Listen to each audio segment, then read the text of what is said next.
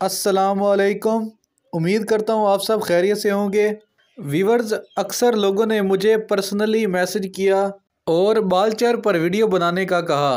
तो आज मैं आपको बालचर के बारे बताने लगा हूँ। अक्सर लोग इसे फंगल इन्फेक्शन कहते हैं, लेकिन ये कैल्शियम की कमी की वजह से निकलता है, जिससे जिसम के मुख्तलिफ़ हिस्सों खसूस सर और थोड़ी से बाल गिरने लग जाते हैं। अगर इसकी अलामत की बात करें तो मरीज़ को मुतासर जगह पर ख़ारिश होती है और वक्फे वक्फे से बाल गिरने शुरू हो जाते हैं, जिससे वो जगह बालों से खाली हो जाती है। अक्सर लोग देसी टोटके इस्तेमाल करते हैं, जिससे बालचर ख़त्म नहीं होते।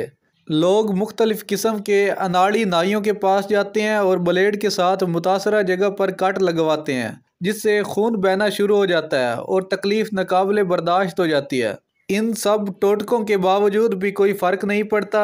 लेकिन आपने घबराना नहीं है, आज मैं आपको इसका इलाज बताने लगा हूँ। आपसे गुजारिश है कि वीडियो को स्किप न करें और एंड तक लाजमी देखें। बालचर के इलाज के लिए आप calcium phosphoricum six X tablets इस्तेमाल करें। ये होम्योपैथिक टैबलेट्स हैं और आपको किसी भी होम्यो स्टोर से बसानी मिल जाएँगी।